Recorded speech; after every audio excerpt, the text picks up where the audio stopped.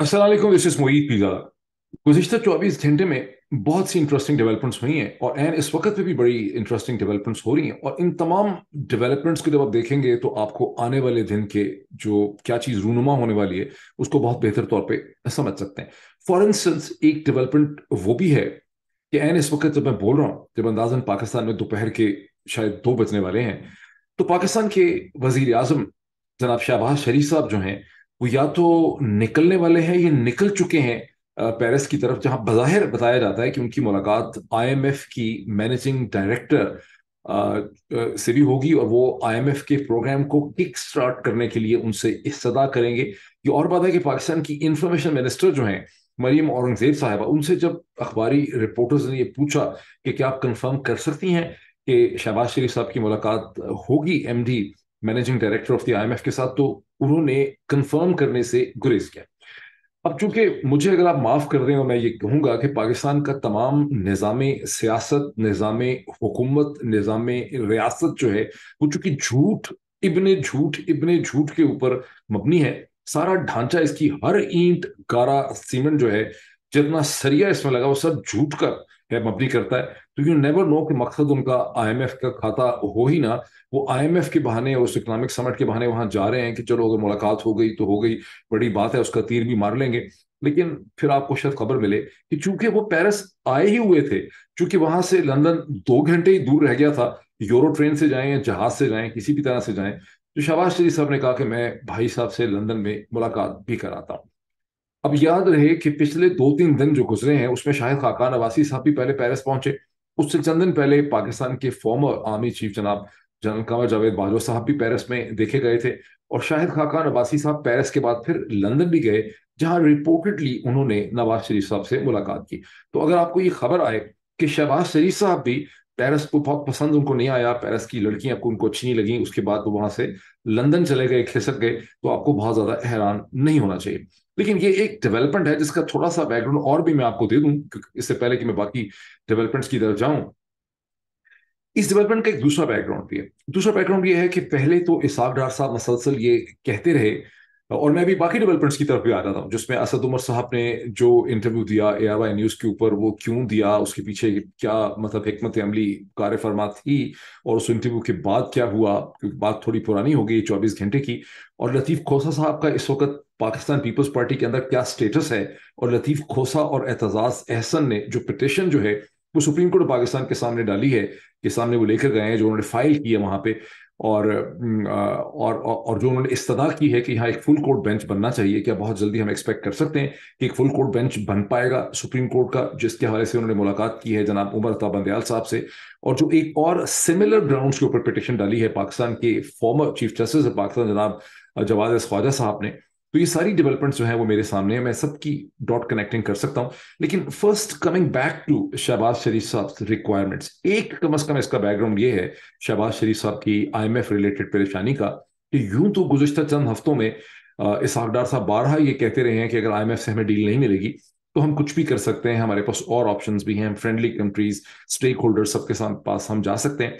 लेकिन अभी ऐसा लग रहा है कि अब शहबाज शरीफ साहब की हुकूमत को एक बहुत बड़ी जो परेशानी लाक है। वो ये है कि पाकिस्तान के अंदर जो फॉरेन करेंसी यानी डॉलर डिनोमिनेटेड इनफ्लोज होते हैं बारह महीने में उनमें खासी कमी आ गई है। वो पचास फ़ीसद से भी कम हुए ये जो फॉरेन करेंसी या, या डॉलर डिनोमिनेटेड फ्लोज होते हैं पाकिस्तान में ये एक्सपैट रेमिटेंसेस से भी होते हैं ये एक्सपोर्ट्स की शक्ल में भी होते हैं। लेकिन इसका बहुत बड़ा एक जो व्हीकल है, वो लोन डिसबर्समेंट्स भी हैं और जो बजटरी सपोर्ट है, जो तीन चार बड़े बड़े इंस्टीट्यूशन जो है वो पाकिस्तान को देते हैं। जिसमें वर्ल्ड बैंक है, जिसमें एशियन डेवलपमेंट बैंक है, जिसमें एशियन इंफ्रास्ट्रक्चर बैंक है और बरतानिया का जो मालियाती इदारा department for international development DFID है जिसको यूके एड भी कहा जाता है। अब ज़ाहिर खबर ये आ रही है अकॉर्डिंग टू द सोर्सेज जो छप भी रही है, कि इन तमाम ही इंस्टीट्यूशंस की जो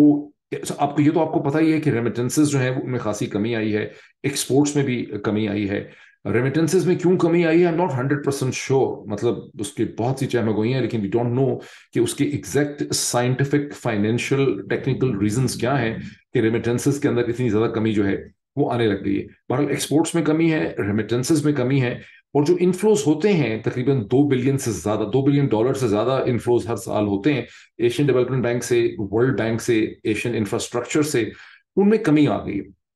और उनमें कमी की जो वजह बताई जाती है वो ये है कि चूँकि गुजशत कई महीनों से आईएमएफ के साथ जो प्रोग्राम टाई होना था, चूँकि वो टाई नहीं हो सका, इसलिए इन इंस्टीट्यूशन ने अपनी पैरल बजटरी सपोर्ट या लोन डिसबर्समेंट जो है, उसमें कमी कर दी है। और वो एक्सपेक्ट करते हैं कि गवर्नमेंट ऑफ़ पाकिस्तान के शाहबाज शरीफ साहब की हुकूमत जो है, वो आईएमएफ के साथ अपना प्रोग्राम जो है, वो सीधा करेगी। ये किसका बैकग्राउंड भी है बट यू नेवर नो कि शहबाज शरीफ साहब की रियल इंटेंशन इस स्टेज के ऊपर क्या है। अब आई एम श्योर के डेवलपमेंट्स का तो मैंने बहुत ज़िक्र कर दिया कि ये भी हुआ, ये भी हुआ, ये भी हुआ। मैं और भी बड़ी लिस्ट आपको बता सकता हूँ कि ये भी हो सकता है, ये भी हो सकता है, ये भी होने वाला है, लाहौर में ये होगा, फलां जगह ये होगा। लेकिन आप, ज़ाहिर है कि इंटरेस्टेड हैं और मैं भी इंटरेस्टेड हूँ, एक बड़ी पिक्चर के अंदर। मैं जब सियाटल से अपनी फ़्लाइट के लिए निकला और मेरी हमूमन की कोशिश होती है कि मुझे आयल की सीट मिले। आ, क्योंकि मैं बड़ा बोर होता हूँ। अगर मैं सीट के अंदर बंद हो जाऊँ तो मैं वहाँ से निकलता हूँ एयर होस्टेस के साथ कप लगाओ कॉफ़ी पियो जूस पियो पानी पियो थोड़ा सा जहाज़ में फिरो टांगे सीधी करो। तो मेरी हमेशा कोशिश होती है कि मुझे आयल की सीट मिले। लेकिन इस दफ़ा मुझे आयल की सीट नहीं मिली बिकॉज़ फ़्लाइट कैंसिल हो गई। जब फ़्लाइट कैंसिल हुई तो जब नया जहाज़ मिला तो मुझे विंडो की सीट मिल गई। तो मुझे विंडो की सीट मिली तो मैंने कहा let's make the best possible use मैंने अपना कैमरा निकाला फ़ोन का और मैंने उसकी बहुत सी तस्वीरें फुटेज और वीडियोज़ जो है बनानी शुरू कर दी। वो मैं आपसे एक और वीलॉग करूँगा जिसके अंदर मैं बकायदा शेयर करूँगा। एक व्यू वो है जब जहाज़ टैक्सी करता है रनवे पे उड़ने से पहले और आपको एयरपोर्ट का डिफरेंट मंजर नज़र आता है। बाकी भी जहाज़ पीछे टैक्सी कर रहे होते हैं। जब जहाज़ टैक्सी कर रहा होता है तो आप अपने लेफ़्ट विंडो से देख सकते हैं कि बाकी जहाज़ भी तीस तीस सेकंड के वक्फे से एक दूसरे के पीछे टैक्सी करें टोटली एक ग्राउंड का व्यू होता है। फिर जहाज़ जब टेक ऑफ़ करता है तो आपको एयरपोर्ट डिफरेंट तरह से नज़र आने लग जाता है। फिर जहाज़ जब बादलों के करीब पहुँचता है तो आपको एयरपोर्ट पूरा शहर नज़र आने लग जाता है। फिर जहाज़ बादलों में जब फंसा हुआ होता है तो आपको सिर्फ़ बादल नज़र आते हैं। फिर जब बादलों से जहाज़, ऐसा लगता है कुछ समंदर है, बिल्कुल रुई के गाले। फिर आप जब बादलों से बहुत ऊपर निकल जाते हैं तो आपको नीचे बादल भी नज़र आते हैं। और बादलों के नीचे आपको एक शहर और बहुत दूर तक अल्लाह की धरती जो है वो आपको नज़र आती है, जिसको आप कहते हैं कि ये थर्टी थाउज़ेंड या थर्टी फाइव थाउज़ेंड फीट का एक व्यू है। जब आप इन सारी डेवलपमेंट्स को देखते हैं जिसमें असद उमर की डेवलपमेंट से हम शुरू करते हैं तो ज़रूरत यह है कि हम देख सकें कि एक broader thirty five thousand feet का व्यू जो है वो क्या अब से कोई दो घंटे पहले,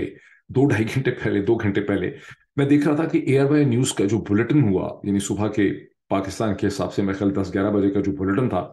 वो छोटा सा बुलेटिन था, तीन चार मिनट का। उस तीन चार मिनट के बुलेटिन के अंदर भी एक पब्लिक सर्वे जिसमें लोग खड़े होकर जिसको साउंड ऑन टेप कहते हैं, यानी वॉक्स वॉक्स पॉपुला है उसका टेक्निकल नेम है वॉक्स पॉप्स या वॉक्स पॉपुलर तो वॉक्स पॉपुलर जो है वो टेलीविज़न चैनल कर रहा था और वो बेचारे एयर वाई की शामत आई हुई थी। एम श्योर कि एयर वाई अकेला ही नहीं होगा, बाकी सबने भी इसी किस्म का एक सर्वे किया होगा जिसमें आप कैमरा भेज के लोगों से सवाल पूछते हैं।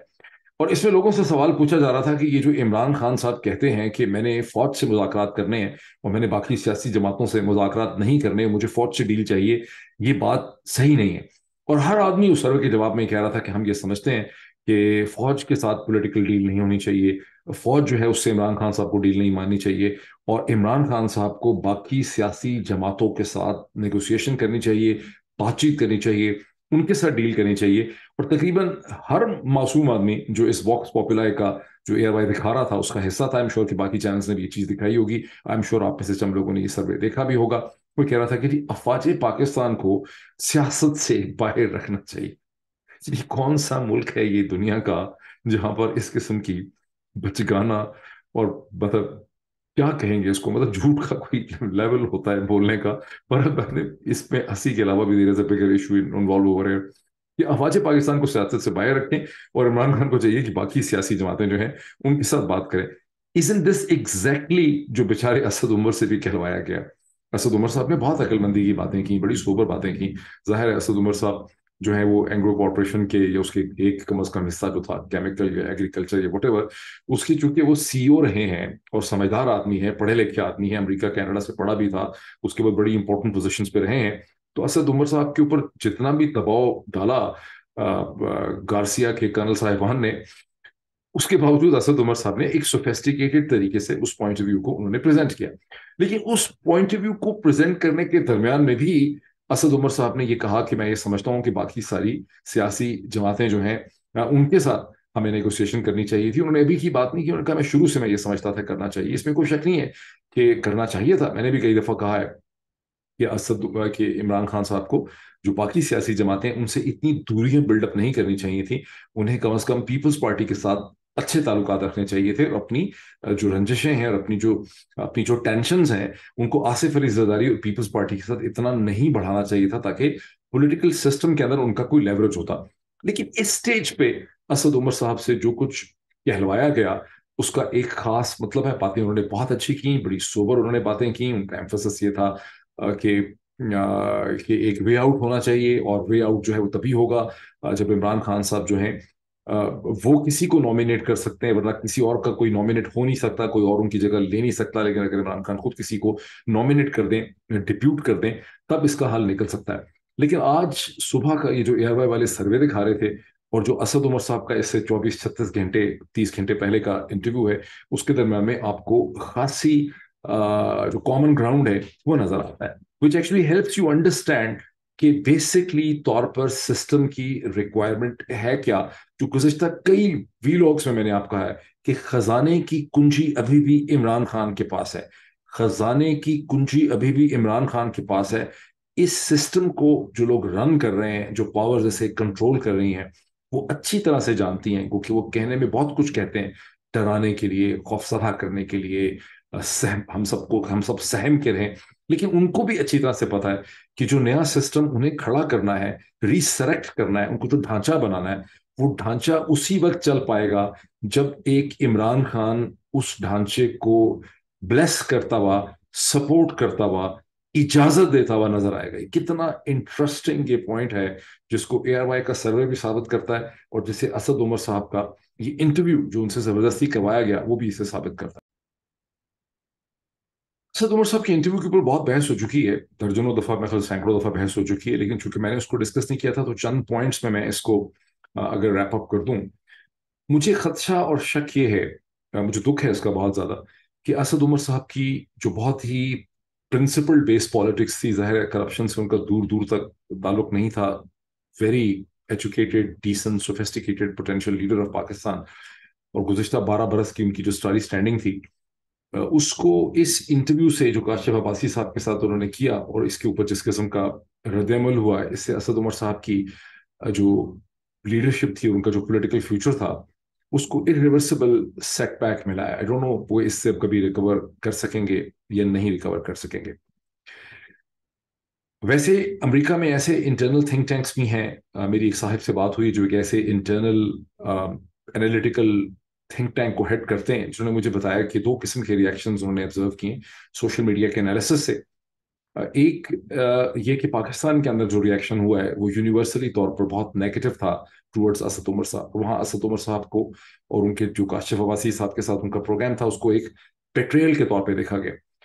तहम अमेरिका के अंदर बहुत से लोग जो हैं, उन्होंने असद उमर साहब के इंटरव्यू के ऊपर कैपिटलाइज करने की कोशिश की। बहुत सो तो नहीं, एक छोटी सी माइनॉरिटी ने उनके हाथ में एक आर्ग्यूमेंट आया है ये कहने के लिए कि देखा, हम ना कहते थे कि इमरान खान जो है वो एक इडियट है और इमरान खान जो है उसने चीज़ों को ठीक हैंडल नहीं किया, उसको नेगोशिएशन करनी चाहिए थी, उसका स्टैंड जो है वो बहुत ज़्यादा हार्ड रहा है। एंड परहैप्स मकसद भी यही था असद उमर साहब से ये इंटरव्यू करवाने का कि असद उमर साहब जो हैं, उनके ज़रिए इमरान की लीडरशिप जो है इमरान खान की, उसके हवाले से उसके हवाले से कन्फ्यूज़न पैदा की जाए, उसके हवाले से एक चैलेंज उसके हवाले से शकूक और डाउट्स जो हैं, उन्हें पैदा किए जाए। असद उमर साहब के इंटरव्यू में बातें बहुत अच्छी थी, लेकिन जिस तरह से रऊफ हसन साहब ने उसका जो एक जवाब दिया है पाकिस्तान तहरीक इंसाफ के मीडिया विंग की तरफ़ से, जो दो ट्वीट्स उनके थे, उसमें जो बेसिक सेंट्रल पॉइंट है कि असद उमर साहब ने जो कुछ वो कहते थे, जो भी उनके डिसएग्रीमेंट थे, अगर वो पहले मंजर आम पे आते, वो पहले पार्टी पोजिशन छोड़ देते, लेकिन नौ मई के वाकत के बाद, जिसमें तहरीक इंसाफ को एज अ पार्टी टारगेट किया गया, इस स्टेज के ऊपर असद उमर साहब की ये पोजिशन जो है वो हो सकता है कि असद उमर साहब को तो सूट करती हो। और मेरे हिसाब से we have to be more understanding on it कि असद उमर साहब के ऊपर। इससे सिर्फ़ मुझे ये समझ आती है कि असद उमर साहब के ऊपर कितने शदीद दबाव जो है वो बिल्डअप किया गया ये और बात है कि पब्लिक इसको इस हवाले से देखती है कि दबाव तो फिर अगर असद उमर साहब के ऊपर बिल्डअप किया गया, मैं तो इस तरह से देखता हूँ कि असद उमर साहब एक पढ़े लिखे सोफेस्टिकेटेड कॉरपोरेट लीडर थे और वो सियासत में इस किस्म की मार पिटाई और इस किस्म की जो सतम जरीफी है कि आपको काल कोठरी में बंद कर दिया जाए और डेथ सेल में डाल दिया जाए और तीस दिन तक डाल दिया जाए और आप बीमार हो गए हों और आपको ड्रिप्स लगी हुई हों, आप हॉस्पिटल ना जा सकते हों। वो गालिबा इस किस्म की जो सूरत हाल है, इसके लिए कभी भी मेंटली प्रिपेयर्ड नहीं थे। तो मुझे तो असद उमर साहब से बहुत sympathy honestly I I really feel कि मतलब Asad Umar was not cut for this kind of role but अब असद उमर साहब को अगर पब्लिक परसेप्शन में देखा जाए तो वहाँ पे प्रॉब्लम ये है कि लोग कंपेयर ये कर रहे हैं कि एजाज चौधरी भी हैं, महमूद रहमान साहब भी हैं। और फिर वो, उनको याद है कि जो इस वक्त शहर आफरीदी की सूरत हाल है, जो सूरत हाल जो है वो अली मोहम्मद खान साहब की है, उमर सरफराज चीमा की है, और फिर सबसे बढ़ के ये कि यासमीन राशिद साहिबा, cancer survivor patient, Aliya Hamza, जो पता चल रहा है बीमार हैं, तैयबा राजा सनम Javed Khan, Khadija Shah, Sabuhi Inam and of course Umar Sarfraz Cheema. तो लोग कंपेयर कर रहे हैं।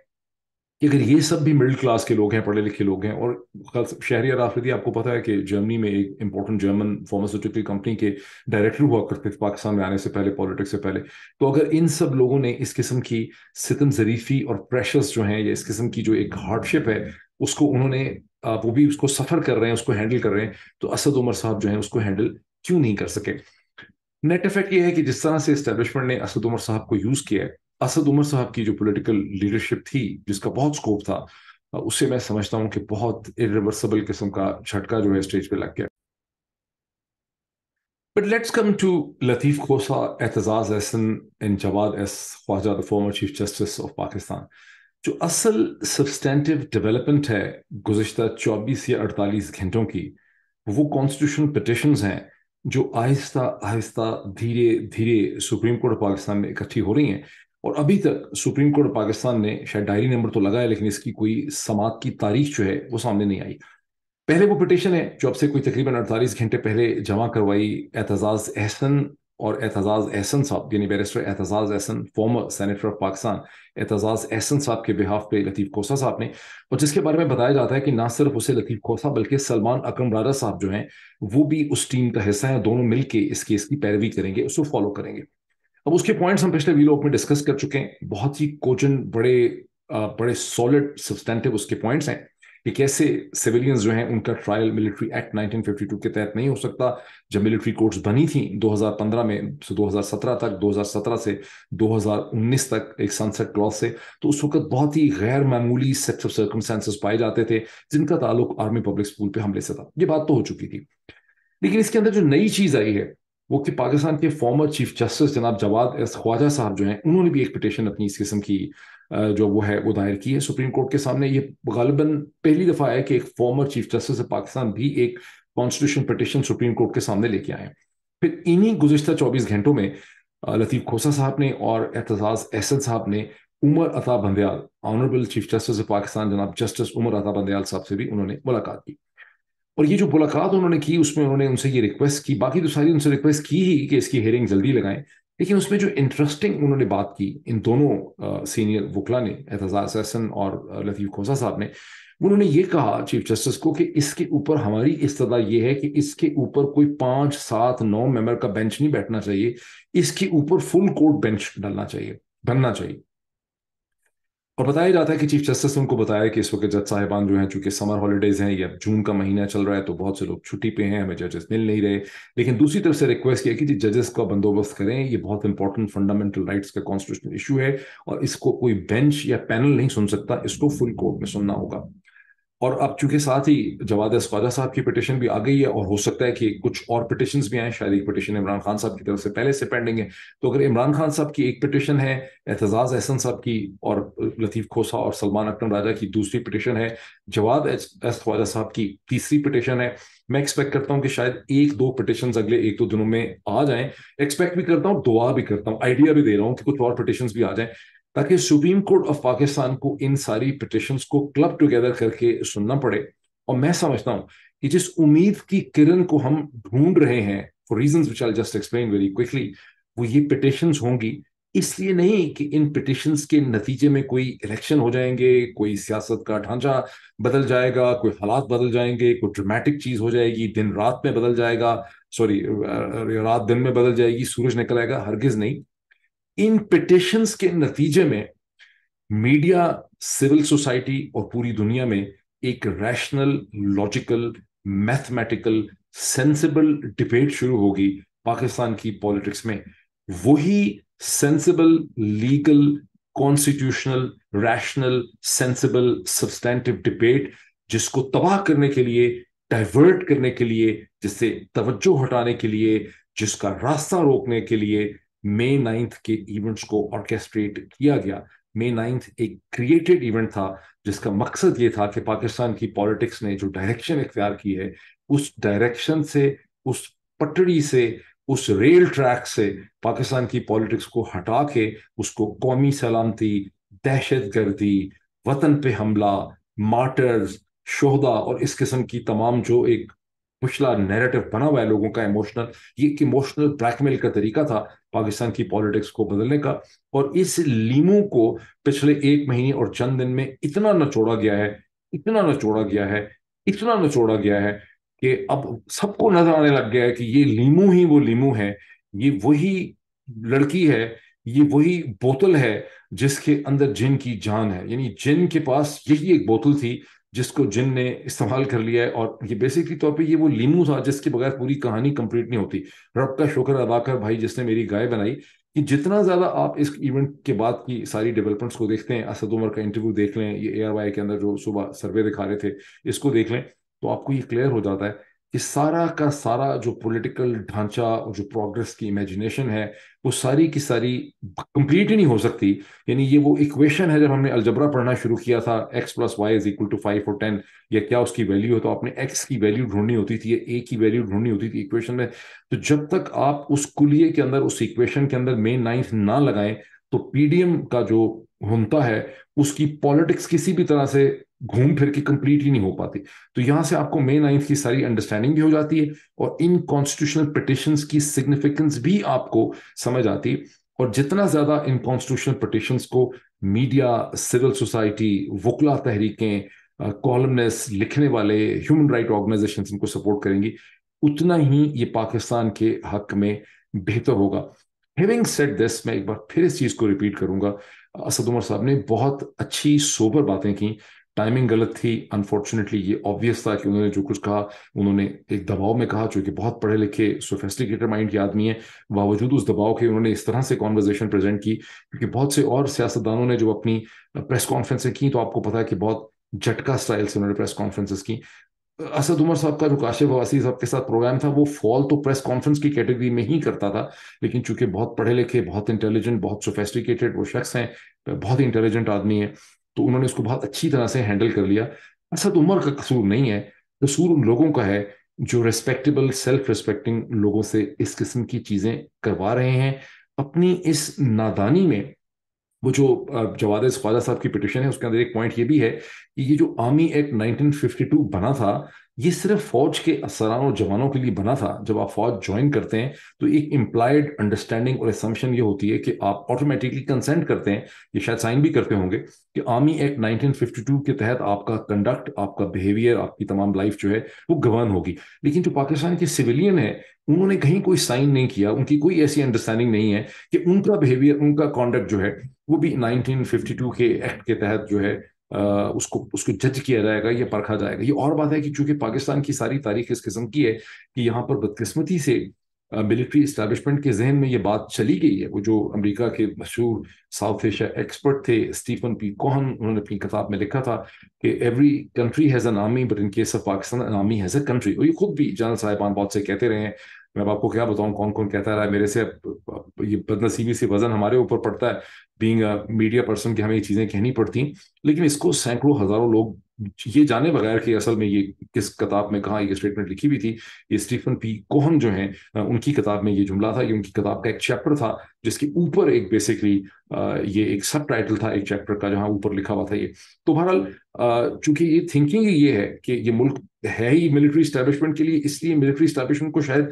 पता ही नहीं चलता ये जिस तरह से उन्होंने ये केसेस फ्रेम किए हैं कि उनको ये ठीक तरह से अदराक नहीं हो पाता कि हम क्या कर रहे हैं। लेकिन हकीकत वही है जो जवाद एस ख्वाजा साहब की पिटिशन के अंदर है कि भाई सिविलियंस ने कहीं साइन नहीं किया, उनकी कोई इंप्लाइड अंडरस्टैंडिंग नहीं है कि हमारी ज़िंदगी का जो सारा कॉन्डक्ट है, वो इसके एक्ट के तहत चलेगा। और अगर वो लोग गए भी हैं जीएचक्यू के या कोर कमांडर के घर के बाहर मुजाहरा करने तो मुजाहरा करने आप वहीं जाते हैं जिसको आप पावर एस्यूम करते हैं। आप मुजाहरा व्हाइट हाउस के सामने जाके करेंगे, या प्रेसिडेंसी के सामने करेंगे, या प्राइम मिनिस्टर हाउस के सामने करेंगे तो मुजाहरा आप वहीं करते हैं जो ताकत का महवर होता है। और अगर लोग मुजाहरा करने के लिए आप कोर कमांडर के घर के बाहर जा रहे हैं, या जीएचक्यू के बाहर जा रहे हैं तो उसकी बिल्कुल क्लियर खुश होना चाहिए एक लिहाज से कि लोग बिल्कुल क्लियर उनकी इंप्लाइड अंडरस्टैंडिंग है कि हम मुजाहरा करने वहाँ जा रहे हैं जहाँ ताकत जो है वो लाए करती है तो इसमें तो असल में तो बात तो बिल्कुल सही है। लेकिन अब आप उसको नेगेट कर रहे हैं, ये प्रेस ये जो सुबह इसे कहते हैं एआरवाई के अंदर सर्वे चल रहा है, जहाँ लोग ये कह रहे हैं कि फौज को सियासत से बाहर रखें तो यहाँ जो कॉन्ट्रोडिक्शन है पाकिस्तान की, वो बिल्कुल क्लियर हो जाती है। बट कमिंग बैक जो बिगर पिक्चर है बिगर पिक्चर को देखें तो ये कॉन्स्टिट्यूशनल पिटिशन जो आ रही हैं, ये सबसे इंपॉर्टेंट है इन्हीं में से हमें बेहतरी का एक रास्ता जो है वो मिलेगा। Thank you